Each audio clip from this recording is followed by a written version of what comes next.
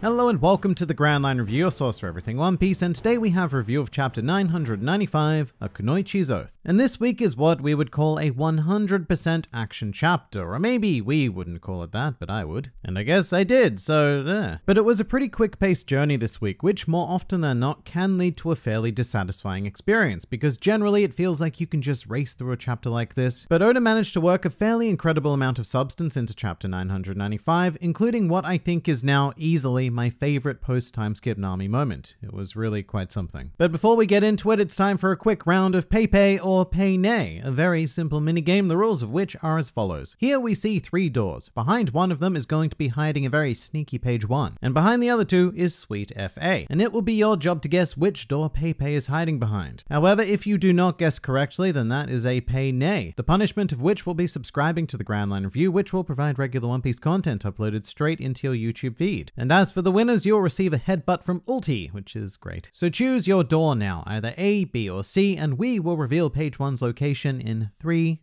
two, one. Hooray! If you chose door A, then you have yourself a pay. However, if you chose doors B or C, then that is a pay nay. Welcome to the Grand Fleet, and please do say hi in the comments below if you are a new recruit. But getting into some serious One Piece chapter related business now, 995 was a pretty amazing experience, and I have to begin right at the end with what I alluded to in the intro. The defining aspect of chapter 995 for me was Nami having her Pirate King moment. These are always so, so damn good, but if you're a more casual reader of One Piece, every now and then a Straw Hat or an ally will be put in a situation like this where they have to bravely affirm that Luffy will become the Pirate King, often at the risk of losing their lives. A great classic example of which would be Alabasta, where Usopp, after being hit by Mr. Four's bat, got up and claimed that Luffy would become the Pirate King, and usually this is done in a fairly explosive and confident way. However, Nami in this chapter was very, very different. Confronted by the overwhelming ulti, Nami tearfully and somberly declared that Luffy would become the King of the Pirates, which is wonderful because Oda has drawn her in a way that makes it clear that she expects to be killed right here and now simply for this statement. It's actually quite a heavy panel that takes me all the way back to East Blue and the kind of tears that Nami wore when she iconically asked Luffy to help her. And it really does bring this Nami-Luffy relationship full circle. He saved her during the Arlong arc and freed her from a lifetime of effective slavery, so he or she would rather die than even betray the idea, the very idea of Luffy's dream. She wouldn't even go so far as to lie about it to an enemy, no matter what the cost. And in that way, it's also extremely evocative of Belle-Mère as well. Belle-Mère chose to die when she could have easily just lied about the fact that she had children. But very similarly, Belle-Mère refused to betray even the idea that she was a mother. And Nami's case here is made very clear by Usopp, whose inner monologue is just urging her to lie, but she doesn't, and I love that. This is raw Nami incarnate, the kind of feeling I've been missing from her in the post-time skip era. So I love that this section of the chapter was able to revive those early East Blue kind of feelings. Everything else in the chapter was secondary to this moment to me, but then again, there is a lot of good secondary stuff as well. To stay on Nami for a bit, I was also quite surprised to see her all beaten up. Like those first few shots we saw of her on the floor are pretty brutal, and whilst Oda didn't show her incurring that damage on page, I do still want to praise him for, you know, making Nami a character again. For all of the post-time skip stuff, Nami has seemed quite invincible to me. Almost like Oda is afraid to put her in a situation where she could get hurt. So there's very rarely any kind of gripping drama with her involved. This chapter finally changed that though, and as a result, I feel really proud of Nami despite the fact that she did get her ass kicked. And someone else I'm really proud of is Usopp. For someone whose crowning characteristic is cowardice, he stood up to both Ulti and Page 1 with a pretty phenomenal amount of bravery. If I had to guess though, I'd say the reason why he did so has everything to do with Nami. She was wounded on the floor, and in that situation, Usopp is never going to run away, no matter how terrified he is. So it is quite understated due to being juxtaposed directly against Nami's focus, but Usopp put in a great showing in 995 as well. And I would like to highlight this one panel of Usopp being struck by Ulti's ultimate doom-infused headbutt thing, and it's something I think you can only truly appreciate after having seen her altercation with.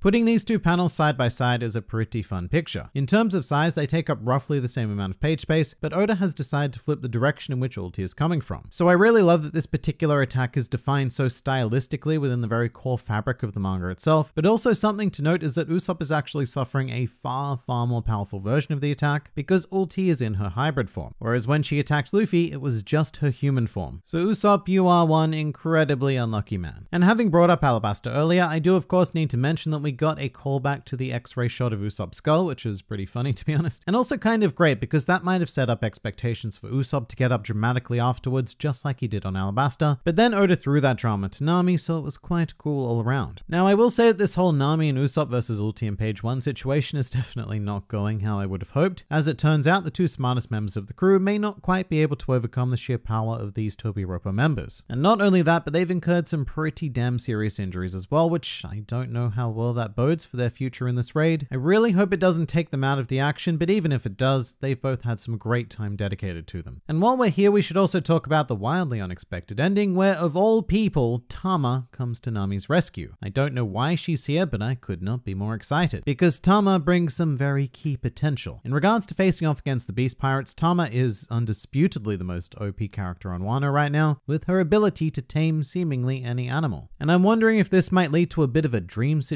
where we see Ulti or perhaps even Page 1 turning into allies after falling victim to Tama's abilities. I love these two so much that I would really want to see something like that, and it would be yet another fun factor to help turn the tides of this raid. But I think we definitely need to keep our eyes on Tama. She was given this strangely specifically useful ability for a reason, and whilst I don't think it will be the Kaido killer that some people theorize, it is an undeniable threat to each and every member of the Beast Pirates, well, the Zoan users anyway, which is most of them. So please do bring on Ally Ulti, I will give you anything to see that. But there is so much more to 995 than that. In fact, we actually start pretty damn balls to the wall with just straight up Marco versus Big Mom. In another really beautifully drawn panel as well that highlights a lot of subtlety here because here's the thing. If you're ever drawing a fight between two fire users, it will run the risk of getting messy and quite incomprehensible due to all of the flames mixing up and just going there. So what I like most about this is that Oda went to some great lengths to differentiate between Marco's flames and the flames of Prometheus. Marco's are brighter, more pure, and designed to show us the impact of what's going on, whilst Prometheus's flames given a more classic gradient of fire that serves mostly as a secondary layer on the page. And it's just impressive because you look at this panel and you know exactly what's going on, rather than seeing some sort of garbled mess of fiery things, which it could very easily have been. And it looks like for now Marco will be fixated on delaying Big Mom, which is an intriguing role for him to have, although I'm still looking for a potential Marco versus King Battle of the Birds scenario if possible, and yeah, it could still happen. We still have yet to really lock any matchups in place because things are still that insanely chaotic. Although one matchup that might be feeling kind of firm right now is Carrot and Wanda versus Perospero. And just before that, may I say that it is an absolute pleasure to see Sulong Carrot again. This form is just so sleek and powerful, and if there's any, any, any reason for Carrot to be joining the Straw Hats permanently, it is pretty much just to see more of this. But we also have Wanda Sulong form by the looks of it, which makes the Sulong divide amongst the mink tribe very clear. Female minks transform into schmick, surgical beasts, whilst male minks become big, furry monsters,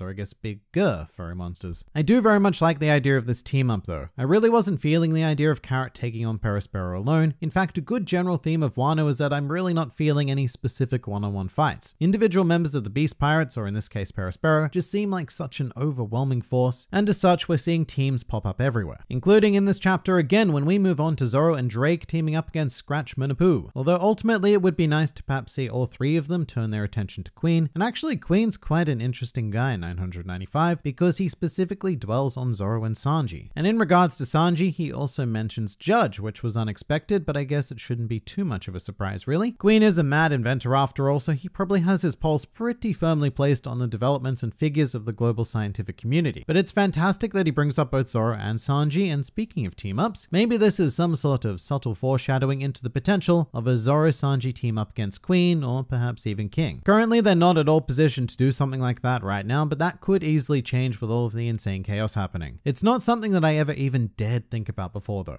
I've always had it in mind that Zoro and Sanji need separate encounters and they could team up with other characters but never each other. But at the same time, I can't deny that it would be pretty damn awesome to watch the two of them demolish one of the calamities. In addition to this though, we have another Zoro versus Kaido flag in this section. Zoro pretty directly states his intention to head up to help Kinemon and the other vassals, and as much as I love the idea of Zoro versus Kaido along with everyone else, I do keep asking myself why. At this point, I don't quite understand what is driving Zoro directly to want to take on the big antagonist. Usually it's something that he would just shrug off and go, no, leave that to Luffy. I mean, is it just his inherited will kicking in via Enma or something? Because Zoro never shows this kind of initiative towards anyone who is not a swordsman. And every time he says something like this, it is like something a protagonist would say. Like these are the sort of lines that you would expect to hear coming out of the mouth of Luffy. So I do very much continue to be quite intrigued in regards to how Oda is choosing to set up Zoro here. Other than that, in terms of major developments, well, Chopper is now infected, which is great. And I know that sounds really morbid, but this is exactly what I was saying last chapter when we saw Yakuza cat face man get infected. I said that if we really wanted to feel some drama or stakes, then it probably needed to be a straw hat, and bam, Oda has answered my call. Because all of a sudden, I do now have a feeling of, oh, damn, we really do need to kill this thing pretty quickly because Chopper, and I like Chopper. So I'm very much liking this development as well. Just as I like the chapter as a whole. Like I said in the intro, 100% action chapters do run the risk of feeling like quite a fleeting experience. They move fast, build up a ton of anticipation, and then very unfortunately leave you with nothing to move on to when you're reading them weekly. But this one was pretty special. There was a lot to digest and a lot that made me want to slow down and take my time reading. So we had another beautiful installment, and I look forward to continuing our journey onto chapter 1000. But that pretty much does it for chapter 995. And what do you guys think? Please do leave your thoughts in the comments below or even join my Discord server. And if you'd like to see more videos like this, then please do go and check out some of my other content or even subscribe to the channel for more glorious One Piece business uploaded straight into your YouTube feeds. But for now, this has been the Grand Line Review, and I'll see you next time.